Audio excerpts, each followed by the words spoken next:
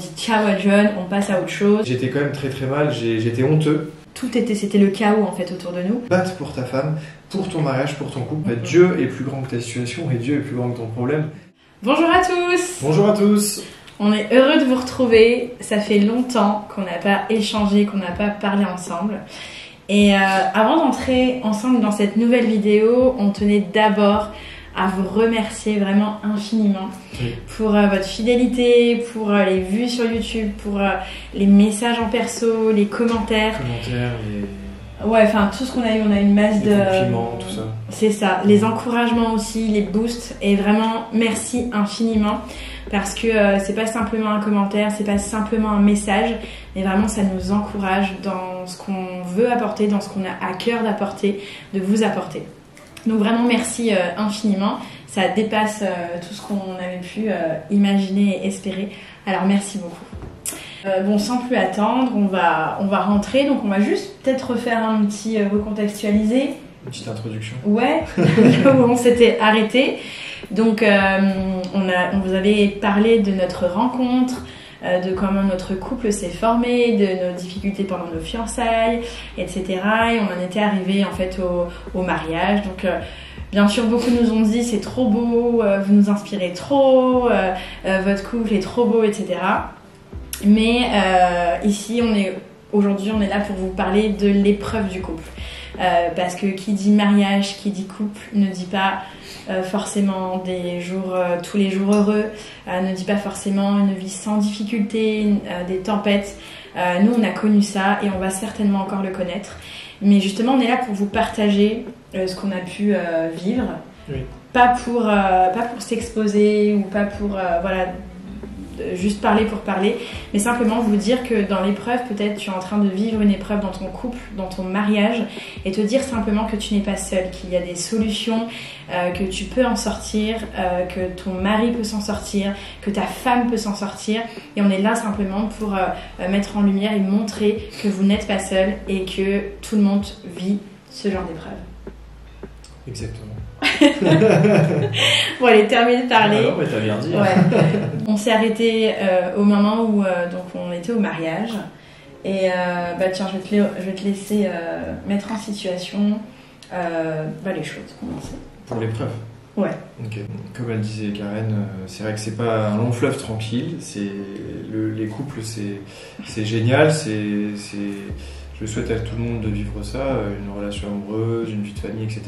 Mais c'est vrai que, comme j'ai toujours dit moi depuis que je suis euh, bah, en âge d'être en couple ou autre, c'est vrai que même depuis notre mariage et tout, j'ai toujours dit que c'était une des choses euh, les plus compliquées à, à réussir, parce qu'en fait c'est un travail du quotidien.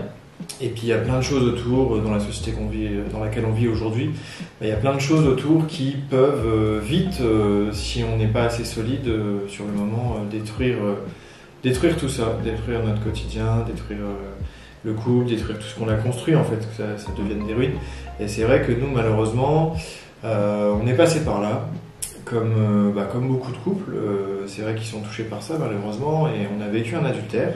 Et ça faisait un an, Un an, ouais. un an, un an et demi, pas tout à fait de, pas tout à fait un, moins d'un an et demi de mariage. Ouais. Donc récemment, on pourrait dire waouh, c'est en plus tôt, c'est pas au bout de 10 ans euh, par lassitude ou comme des, des vieux mariés ou autres.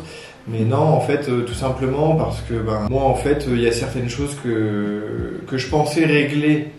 Euh, et D'ailleurs, ça a déjà été des sujets, des conversations avec d'autres euh, d'autres personnes dans mon entourage amical ou autre, à l'église ou autre. Et euh, en fait, des choses que je pensais qu'elles allaient être réglées pendant le mariage, je me suis dit ouais, c'est pas grave, une fois que je serai marié, euh, c'est bon, ça, ça va, ça va le faire. euh. Et en fait, non, en fait, c'est encore pire. Et c'est pour ça que on va en parler euh, ensemble. Mais euh, il y a des choses, en fait, même si c'est difficile, même si du coup ça repousse peut-être des fois le mariage, ça repousse peut-être une relation. Si la relation doit se faire, elle se fera. Euh, mais vaut mieux, en fait, par protection et par amour pour son conjoint ou sa conjointe, euh, régler certaines choses déjà avant de se marier. Et en fait, moi, le souci, c'est que euh, j'avais des soucis d'addiction en fait à tout ce qui était pornographique et, autres et qui n'étaient pas tout à fait réglés et que je m'étais dit bah tiens je vais me marier je vais avoir des relations sexuelles avec ma femme donc bah en fait j'aurais plus besoin de toucher à ça Et, et en fait, maintenant, c'était pas le cas. En fait, quand c'est pas réglé, quand c'est un problème, quand c'est une addiction, ça se règle pas comme ça. Donc même une fois marié, eh ben, malheureusement, on peut retomber dans ces choses-là. Et sauf que si on est vraiment trop euh, enfoncé dans ces choses, eh ben, euh, le résultat entre guillemets le plus, le plus fort du péché, enfin de, cette addiction-là, bah, c'est la tromperie. Et euh, malheureusement, c'est ce qui nous est arrivé. Donc voilà, on va pas forcément s'étendre sur les détails, tous les petits détails autres, parce que c'est pas le but de cette vidéo. Euh, mais c'est plutôt vraiment, on, ose partager euh, tout ça, on ose le dire, on assume ce qui s'est passé parce que maintenant, bien sûr, on va vous expliquer, mais c'est réglé. Mais c'est vraiment pour vous aider, c'est pour aider tous ceux qui, sont peut-être en phase de le faire ou peut-être euh, tous ceux qui sont, qui sont passés par là, malheureusement, vraiment ou pas. Et c'est vraiment pour vous encourager parce que nous, vous allez le voir par la suite comment, mais on a, on a vaincu tout ça, on a surmonté ça.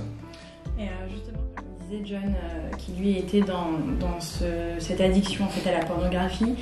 Ce que ça fait en fait dans notre mariage, parce qu'on on peut dire bah, quel est le lien, c'est que en fait la pornographie euh, lui a donné, lui a montré une image biaisée de ce qu'étaient en fait les relations sexuelles, de ce qu'était euh, vraiment le couple, de ce qu'étaient euh, les relations entre l'homme et femme. Et au fur et à mesure des années, euh, parce que c'était vraiment euh, à la sortie de son adolescence, je crois que ça a commencé. Et en fait, au fur et à mesure des années, ça a construit quelque chose en lui. Tu me dis si je dis faux, mais ça a construit quelque chose en lui qui était totalement biaisé. Et comme on disait, le, sexe est bon, le sexe est bien dans le cadre du mariage. Et, justement là, avec toutes ces choses-là, ça a nourri quelque chose en lui qui a complètement tout biaisé. Et en fait, il y a eu un fossé quand on s'est marié. Il y a eu un fossé parce que euh, notre sexualité, notre vie de couple dans le mariage était en fait euh, n'avait rien à voir, c'était bancal mm. à côté de tout ce que lui avait vu et de tout ce qui s'était nourri. Donc, euh, comme il le disait, il y a des choses euh, voilà, à, régler avant le mariage, mais ça, on, en parlera un peu plus tard. Donc voilà un petit peu l'épreuve qu'on a vraiment vécue dès l'entrée de notre mariage. Donc on avait fait, on, faisait un an de mariage, ouais, on avait fait un an et je crois deux mois de mariage, et, et du coup là tout a explosé. Euh, vraiment, comme on dit, euh, le monde s'est effondré autour de nous. Euh, que ça soit pour lui, que ça soit pour moi. et je tiens à dire, c'est pas parce qu'il y a eu un adultère qu'il y a un grand méchant loup et qu'il y a une pauvre petite victime. Les deux sont victimes. Alors je sais qu'il y en a qui vont dire, ah ben non, il a fait ça, machin truc, elle a fait ça. Non, il n'y a pas de grand méchant loup et il n'y a pas de petite victime. les deux sont victimes parce que lui est tenu de quelque chose. Euh, et pousser quelque chose, bien sûr. Après, il y a sa responsabilité ses choix. Pas la part de responsabilité. Exactement. Mais euh, de l'autre côté aussi, mais, euh, voilà, il y, a deux victimes, il n'y a pas un grand méchant loup et une victime. Donc les conséquences un petit peu de comment ça a été dit, parce qu'il y a aussi la, manière de, de, comment les choses ont, ont été découvertes. Euh, donc je ne l'ai pas découvert euh, sous un message ou quoi que ce soit. En fait, euh, John un soir m'a demandé simplement à parler et on a parlé et, du coup il m'a avoué les choses. Donc c'est lui qui m'a avoué les choses. donc pour la raison, est-ce que tu veux expliquer la raison? Bah oui. Oui, c'est vrai qu'il y en a plein qui, enfin, il y en a qui pourraient peut-être peut-être se dire, pardon, bah pourquoi tu l'as avoué? Valait mieux cacher ça euh, parce que tu, vas tout perdre. Euh, faut pas, il y en a qui auraient pu se dire mince, moi je l'aurais pas avoué ou, euh, comment dire, voilà, ce serait un petit peu avec le temps, ça aurait passé et puis personne ne l'aurait su et puis tout va bien et on recommence plus. Sauf qu'en fait non, parce que quand on est entier devant Dieu, moi ce qui m'a poussé à l'avouer, vraiment, moi en fait si vous voulez, je faisais depuis plusieurs mois parce qu'en fait, je ne l'ai pas non plus avoué le jour J, je l'ai avoué au bout de quelques, mois quand même. Donc en fait, euh, euh, parce qu'au tout début, bien sûr, c'était le côté humain, c'était la peur. Il faut être, faut, être honnête avec soi-même. C'était la peur, en fait, justement, de tout perdre. Et ce qui était récent, ce qui était. Et en fait, quand on est dans ces choses-là, malheureusement, on réalise pas sur le moment, quand on fait ces choses-là et tout, on réalise pas, on pense pas à tout ça. On est tellement focus, euh, aveuglé en fait par par notre addiction, par notre, euh, notre péché, par ce qui nous tient, un petit peu aussi enchaîné, on peut parler de ça, et ben qu'on réalise pas euh, tout ce qu'il y a derrière, parce que si on y pensait, bah forcément ça n'arriverait pas ce genre de choses, parce qu'on se dirait pour, euh, pour des, des, bêtises, pour des choses éphémères, on va mettre des années de construction et de vie, de famille, des projets, enfin tout, notre vie va, basculer quoi. Donc c'est vrai que moi aussi j'ai commencé à faire des crises d'angoisse parce qu'en fait de, de, ne le dire à personne, de le cacher, ça, avait un impact sur mon corps en fait. Parce que c'est vrai que comme la Bible dit, on est corps, âme et esprit et tout fonctionne ensemble. Et s'il y a une partie qui est entre guillemets malade, qui va pas au fond de nous, bah, au bout d'un moment ça ressort. Et moi je faisais des crises d'angoisse alors que j'avais jamais fait ça. C'était très difficile à contrôler, on avait vu des, spécialistes, tout ça. Même moi j'étais pas forcément conscient euh, au début en tout cas que c'était à cause de ça. Parce que pour moi c'était pas ça en fait, hein, c'était différent. Et, euh, et, au bout d'un moment, le, jour où j'ai dû l'avouer, j'ai su que c'était ce jour-là parce que vraiment j'avais, j'étais très mal et j'avais des pensées de, de mort franchement, je, je, pensais que j'allais mourir en fait. Mm. tellement c'était puissant. Euh, je me rappelle, euh, j'avais un mal-être au fond de moi et, vraiment, c'était vraiment le mot, c'était la mort quoi. C'était mm. là, ça peut plus continuer. il faut le dire. Et, en fait, quand je l'ai avoué, déjà c'était aussi Dieu par amour en fait qui me poussait. Pour moi, je l'ai vraiment vécu comme ça. Dieu va se servir d'une épreuve ou de quelque chose euh, pour t'impacter en fait et qui va t'aider à te bousculer et à, te pousser à, faire le pas. parce que de soi-même, c'est vrai que c'est très très compliqué. Humainement. et de tout ce qu'on veut, c'est très très compliqué. Forcément, euh, dire ça comme ça, euh, d'aplomb, c'est pas possible. Donc en fait, je l'ai avoué. Et rien que le fait de l'avoir avoué, déjà, j'ai senti comme si, je me rappelle, j'avais dit à Karen plus tard, bien sûr, c'est comme si j'avais 500 kilos qui s'étaient retirés de mes épaules, tellement c'était très lourd à porter et, je pouvais plus en fait. Et, c'est vrai que c'était bien aussi d'une certaine manière de, bah, de l'avouer, qu'elle l'apprenne plus tard par elle-même, ça aurait été encore pire. Donc euh, donc c'est vrai que moi c'est moi qui l'ai avoué, mais c'est grâce à Dieu aussi, avec son aide, avec le Saint-Esprit, où le, le, fardeau était trop lourd et, et du coup, j'ai avoué mes fautes et, ça, et ça, déjà, c'était une libération, une première libération. Et même pour Karen, pas sur le moment, bien sûr, mais mm. de le savoir, en fait, euh, c'était important aussi. C'est vrai que sur le moment, euh, bah, sur le moment, avez entendu, euh, on n'est jamais prêt à entendre ce genre de, ce genre de choses. Mais et puis bah, forcément, c'est une trop grosse information pour, pour le cerveau. Donc sur le moment, c'est ça, a été le chaos, hein. ça a été chaotique euh, pour John euh, comme pour moi. Euh, et, et, quelles ont été après les conséquences? Donc bien entendu, vous vous doutez, on, a, on, s'est séparés. Donc John a quitté le, le, nid familial, il a quitté le nid familial et il est parti revivre chez ses parents. Donc, dans, On n'avait pas encore d'enfants, juste pour préciser. On n'avait pas d'enfants, c'était au début de notre mariage. Donc il est parti rejoindre euh, sa famille donc, euh, à Bar-le-Duc et moi je suis restée vivre sur Troyes. Et euh, un peu de les, les, enfin, comment après, après un petit peu ça s'est fait. On va parler, je pense, chacun en parallèle parce que moi je ne veux pas parler pour John de ce qu'il a vécu à ce moment-là et lui il ne va pas parler pour moi. Mais moi à partir de là, en fait, j'ai eu, je suis passée bien entendu par la colère, par la haine même. Euh, et heureusement, j'ai été entourée de, bah, bien entendu, j'ai eu des amis, mais euh, j'ai eu des personnes clés qui m'ont entourée. Euh, d'ailleurs, si Maëline, tu me regardes, big up à toi. j'ai été entourée vraiment par des personnes qui ont été pour moi des piliers et qui vraiment m'ont tenue dans ces moments-là parce que je vrillais humainement, parlant, il faut dire ce qui est, et c'est un état normal d'ailleurs. je vrillais, je, passais par plusieurs émotions, plusieurs ressentis vraiment. Euh, au bout, de, euh, de, quelques jours, en fait, pour moi c'était normal de ressentir de la haine contre John. Mais il y a un moment donné où euh, je savais que mes amis autour de moi priaient pour moi, ma famille priait pour moi. Et il y a un moment donné où j'arrivais plus à être en colère contre John. Alors c'est très bizarre, mais je vais essayer de vous l'expliquer vraiment comme je l'ai vécu. J'arrivais vraiment plus à ressentir de colère contre John j'arrivais plus à, ressentir de la haine. Et en fait, euh, je ne trouvais pas ça normal. Je me disais, je comprends pas. Donc, qu'est-ce que j'ai fait? C'est que j'ai mutilé mon esprit et mon cœur. Donc, je me forçais à penser à certaines choses pour essayer de ressentir de la haine et de me dire c'est normal que, que, je sois haineuse et en colère contre lui. Et en fait, euh, et en fait, Dieu dans son immense amour, à chaque fois je disais mais Seigneur, je comprends pas pourquoi j'arrive pas à être plus en colère que ça en fait. Et Dieu vraiment dans son immense amour et, par son Saint-Esprit, à chaque fois me disait mais Karen, j'ai mis des barrières en fait autour de ton cœur et de ton esprit afin que vraiment tu sois protégée de toutes ces choses-là. Et c'est comme si en fait Dieu mettait ses bras d'amour autour de moi et me disait ok je suis ton bouclier et même si tu te mutiles l'esprit le cœur, il n'y a rien qui pourra t'atteindre. Et c'est vraiment comme ça, moi, que je l'ai vécu. Et euh, même dans ma douche, hein, je, me forçais à penser à des choses, mais j'arrivais pas. Tout ce que je ressentais, c'était de l'amour pour John. Bon, bien entendu, je lui disais pas. Hein. mais, euh, mais je ressentais en fait que de l'amour. Et donc, euh, et donc bien entendu, il y a eu d'autres jours où, où la colère revenait. Et, et moi, c'était clair dans ma tête. C'était Karen, t'as 25 ans. J'ai 25 ans. 25 ans. t'as 25 ans t'es belle, t'as la vie devant toi. 26. 26 ans. Et je me disais, go quoi. Genre, euh, c'est pas grave, euh, c'est la vie. Euh, on dit ciao à John, on passe à autre chose. Donc de là, de là, moi j'ai fait appel à un avocat.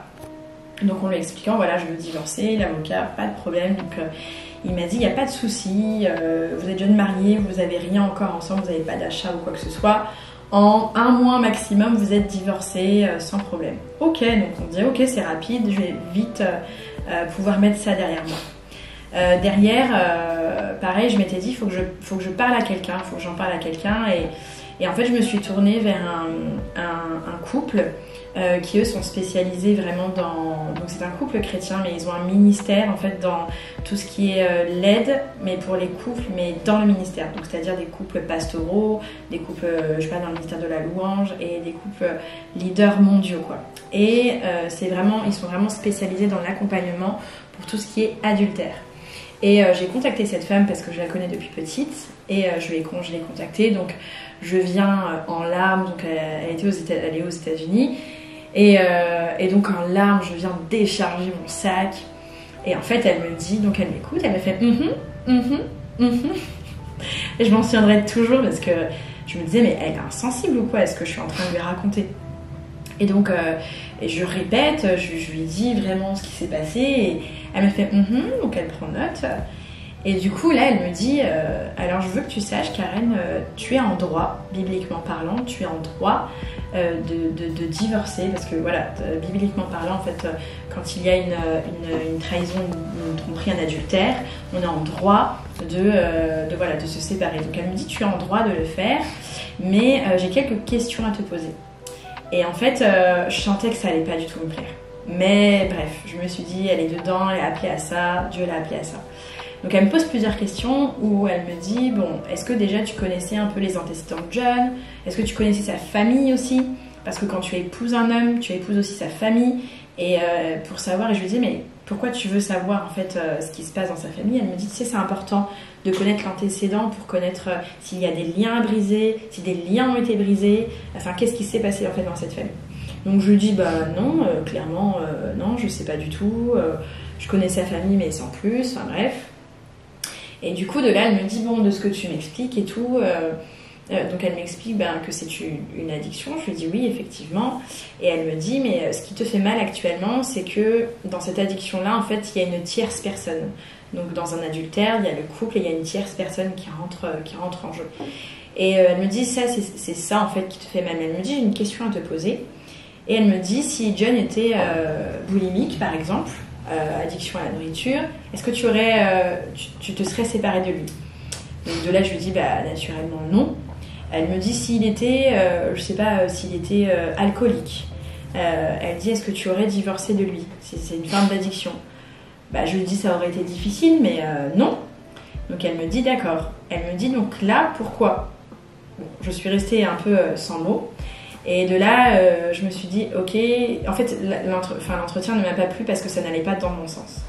Et elle m'a simplement dit, écoute Karen, regarde le film, est-ce que tu connais le film Mr. and Mrs. Smith? Et d'ailleurs, je le recommande à tous les couples et écoutez bien ce que je vais vous dire parce que vous devez le regarder pour ça. Donc je lui dis, ah ouais, j'aime trop ce film et tout. Elle me dit, qu'est-ce qui se passe dans le couple? En fait, Angelina Jolie et Brad Pitt, euh, ils se battent sans le savoir l'un contre l'autre, contre un ennemi qui en fait est commun. Et je lui dis oui, c'est vrai. Et elle dit donc en fait, ils se battent l'un contre l'autre, pensant que l'autre est l'ennemi. Et elle dit tout le film, c'est ça. Je lui dis oui.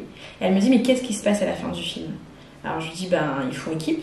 Elle me dit en fait ils se rendent compte que leur ennemi est commun. Donc qu'est-ce qu'ils font? Tous les deux ils s'allient ensemble et en fait ensemble ils combattent l'ennemi qui est commun. Elle me dit et là ça nous donne des scènes magnifiques entre amour, bataille, etc. Et franchement regardez-le, vous allez le voir différemment. Voilà, je vous invite vraiment à regarder ce, film en couple et vous allez voir, vous allez le voir différemment. En tout cas, Dieu m'a parlé de différentes manières. Celle-là m'avait pas forcément plu, mais pour, pour faire court encore, ben euh, un jour, j'étais à une, conférence, à un rassemblement, et un pasteur, enfin voilà, et, et Dieu m'avait simplement dit, un pasteur que je connais pas, qui connaissait pas notre situation. Euh, je me suis avancée quand il a prié pour moi. Il a simplement mis euh, ma main sur mon ventre et euh, il a appuyé fort, fort, fort. Donc sur le coup, je me dis mais qu'est-ce qui Et en fait, il m'a sorti cette phrase et il m'a dit jusqu'à tes entrailles, tu vas devoir le pardonner. Et, euh, en fait, cette phrase-là, ça a été la phrase pour moi. Ça m'a. Il savait même pas. Il, avait même pas. Il, ne connaissait pas. Il venait de Belgique.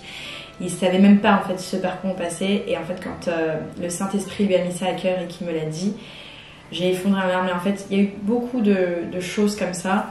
Et ce serait tellement long à raconter, mais vraiment Dieu a fait un cheminement. Et, euh, et moi, ça a été en tout cas ma partie où ça a commencé, où ça allait pas. Ça me, caressait pas dans le sens du poil, donc ça m'allait pas.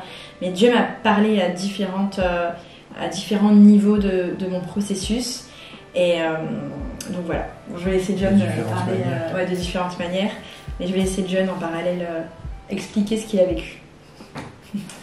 Bah moi en fait, je m'en rappelle, j'étais dans un nouveau job en plus, et puis qui, qui allait pas du tout au final, enfin qui ne correspondait pas parce que de toute façon, quand on fait euh, ce genre de, choses, d'erreurs, et quand on est dans des situations de vie comme ça, euh, en fait, c'est tout qui part un peu en fouillis, euh, en désordre. Donc, c'était pas très étonnant que j'avais changé de job, justement.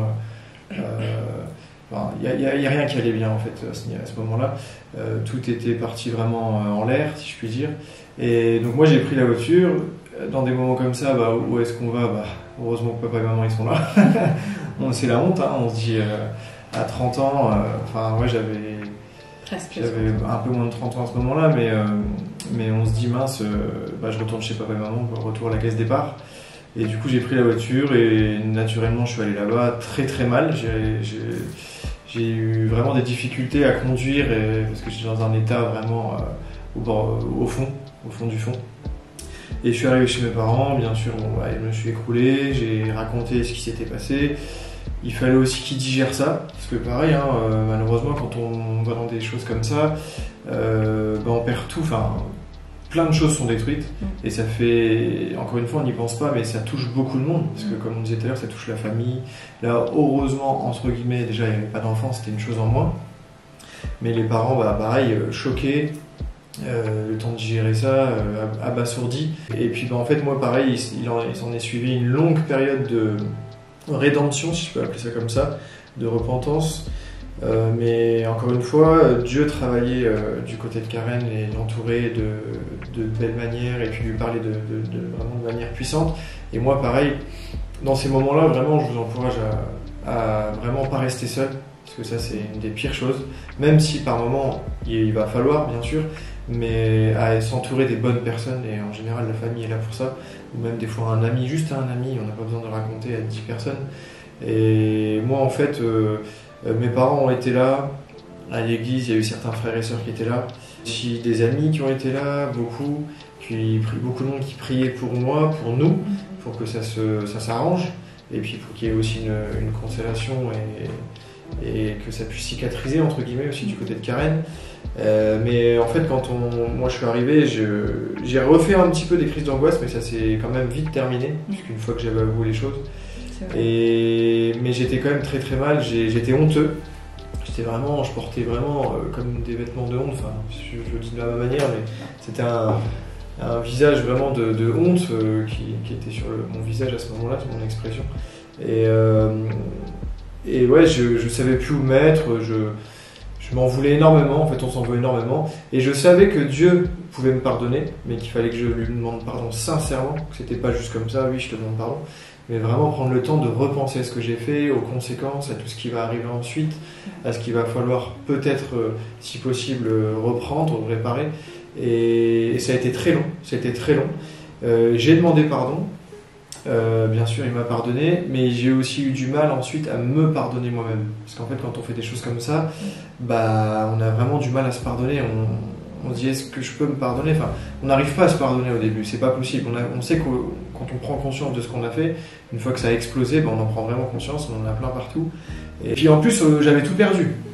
Et là, je me disais, bah, waouh, c'est difficile, mais j'avais tout perdu parce que j'avais un bon métier, j'avais une femme, j'avais une belle famille en or, j'avais des amis euh, sur trois, enfin, j'avais, voilà. Et en fait, là, je perdais tout. Parce que j'avais perdu bah, euh, l'appartement, enfin, là où je vivais, ma femme, ma belle famille, certains amis, certains liens qui ont tout de suite été coupés. Euh, la voiture, des biens matériels, euh, on peut dire que c'est que matériel, c'est pas le plus important, mais euh, j'avais perdu tout ça. Désolé, il y a la machine à café. Sais pas si on la le montage ou quoi. C'est pas long, ça y est. Et, euh, et en gros, voilà, on, on, c'est re- repart, on repart à zéro euh, et c'est difficile. Parce que c'est, pas à l'âge de 12 ans, de 15 ans, c'est à presque 30 ans. Donc c'est difficile à accepter. À un moment donné, moi j'avais envie, parce que malgré tout, malgré tout ce que je lui avais fait de mal, j'avais envie de continuer avec elle. Je savais que c'était ma femme, mais vu que je savais qu'elle était dans ses droits et que j'avais fait un truc trop grave, bien sûr je pouvais pas ramener ma fraise et, et elle avait tout à fait le droit de vouloir euh, divorcer d'arrêter et de recommencer sa vie. Mais au bout d'un moment, en fait, je m'étais fait à l'idée. Enfin, je commençais à me faire à cette idée-là parce que je voulais me préparer justement pour essayer de souffrir un peu moins dans ma tête, à me dire, euh, bah, prépare-toi, peut-être qu'elle voudra plus jamais de toi. Je commençais à me le dire. Et en fait, un dimanche à l'église, en discutant avec un, frère et qui est un, bon ami de, mes parents et de, de la famille depuis une longue date, depuis ma naissance, il, il est Dieu vraiment s'est servi de lui parce qu'il m'a dit, euh, il m'a dit, tu dois te battre pour ta femme. Et en fait, ça m'avait marqué ce jour-là parce que moi, je commençais justement à penser. à- Il m'a dit non. Je dis ouais, mais elle est dans ses droits. Il m'a dit oui, mais il m'a dit tu dois au moins essayer. Et il m'a dit tu dois te battre pour ta femme, pour ton mariage, pour ton couple, parce que Satan, le diable, lui, euh, pour l'instant, il a gagné. Et il pense qu'il a gagné, mais c'est pas forcément sûr qu'il a gagné jusqu'au bout. Et en gros, euh, tu dois vraiment euh, faire tout ce qui est en ta, ton, tout ton possible. Voilà, tout ce que tu peux faire, fais-le pour essayer de réparer les choses, même si euh, ça va être dur, même si tu vas ramer, même si tu vas devoir te mettre à genoux, euh, pleurer, peu importe, fais-le. Et, en fait, ça m'a mis une claque. Et je, je savais que c'était Dieu qui, me parlait à travers, euh, à travers cet ami. Et, du coup, à partir de ce moment-là, bah, j'ai pu lâcher l'affaire. Et je l'ai exprimé à Karen, en fait. Donc il m'a exprimé un, peu ce qu'il avait, euh, avait reçu parce que il avait déjà reçu, échangé avec beaucoup de monde, mais euh, ce jour-là, il savait aussi que c'était de Dieu et que ça l'avait vraiment impacté. Et moi, comme je l'expliquais tout à l'heure, euh, j'avais eu beaucoup de choses et, notamment en fait, lui en parallèle qui vivait ça. Une fois, j'étais toute seule, en fait, je vivais toute seule dans l'appartement et il y a une nuit où je me suis réveillée et avec un trou. Je me suis réveillée le matin avec un, trou en moi, mais vraiment euh, en incapacité de, respirer. Et euh, en fait, je venais de rêver de John et de moi, et quand je me suis réveillée, j'ai eu un, trou en moi. Et, euh, et en fait, euh, à ce moment-là, ça a été ce trou, ça a été le manque. Ça a été, euh, j'avais besoin euh, de voir John, j'avais besoin de, ressentir John. Sauf que j'avais tout viré de la maison, tout ce qui pouvait être en, en lien avec John. Donc je pouvais même pas avoir une odeur ou quoi que ce soit parce que j'avais vraiment tout enlevé. Et en fait, euh, et en fait là, j'étais en larmes et je me lève et, euh, et euh, je ne sais pas pourquoi. Et encore une fois, Dieu est Dieu.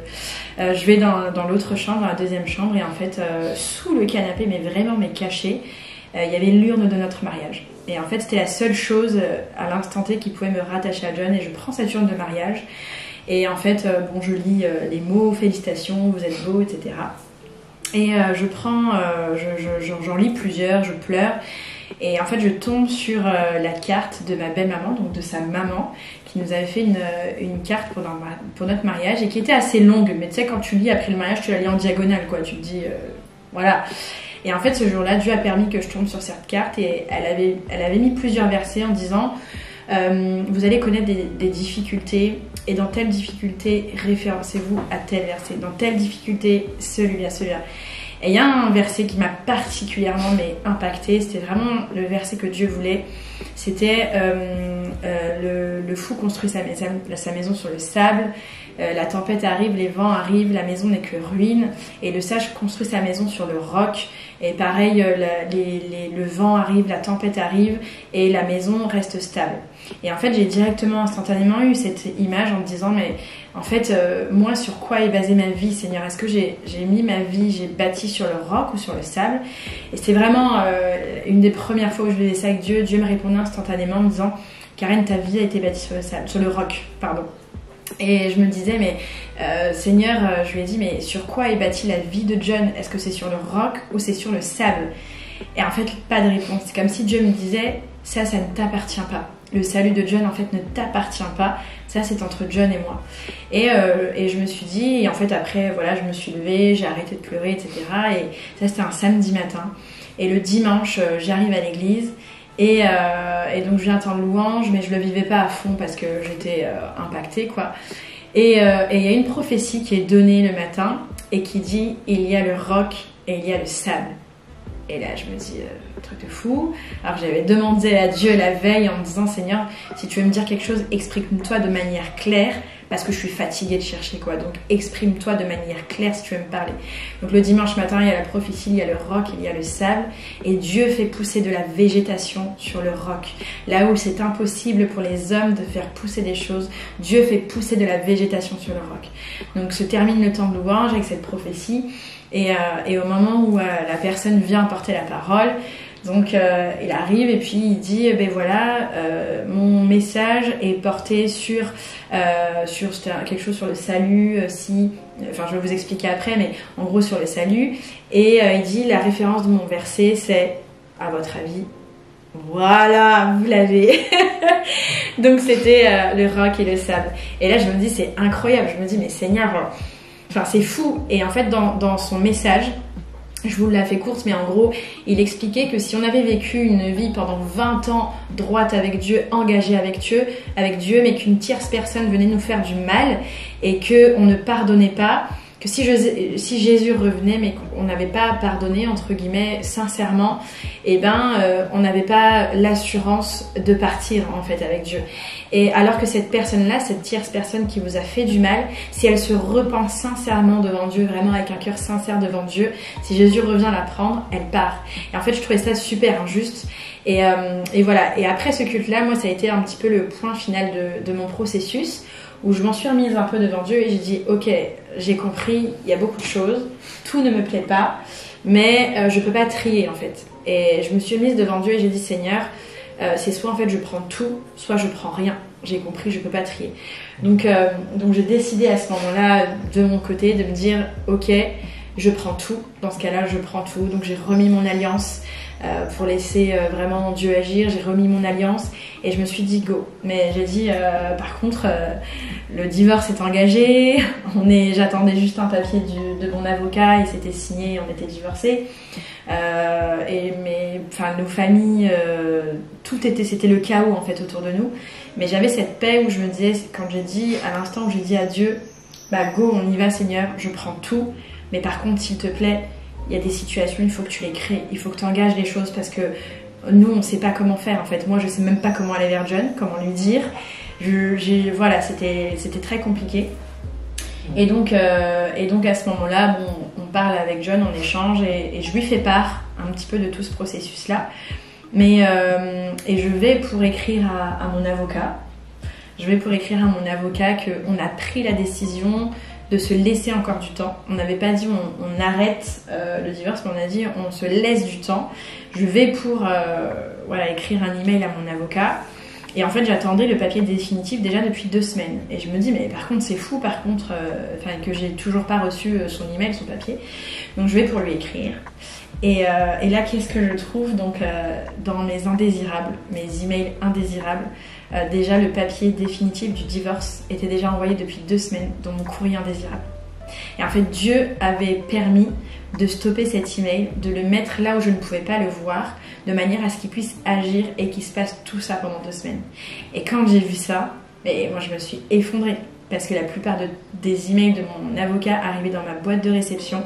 Et en fait, juste cet email-là qui attestait, il y avait juste à signer qui attestait qu'on était divorcés, comme si Dieu l'avait pris et lui a dit Attends, attends, attends, j'ai pas encore agi, laisse-moi agir et après on verra pour cet email.